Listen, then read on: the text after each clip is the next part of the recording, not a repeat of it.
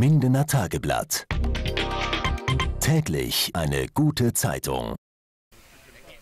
Flammeninferno am Vossbrink in Porta Westfalica Nammen. Beim Brand eines Pferdestalls sind nach ersten Informationen der Feuerwehr keine Personen verletzt worden.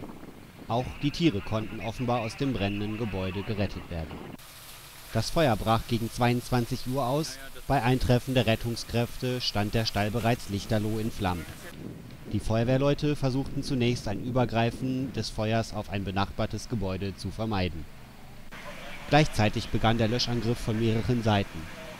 Explodierende Gasflaschen machten es unmöglich, das Gebäude zu betreten. Auch ein niedriger Wasserdruck aus den Hydranten erschwerte die Löscharbeiten. Im Einsatz waren Kräfte der Feuerwehren aus Porta, Minden, Bückeburg und Rinteln. Die Löscharbeiten dauerten bis in die Morgenstunden an. Zur Ursache des Feuers und zur Höhe des Sachschadens konnten bislang keine Angaben gemacht werden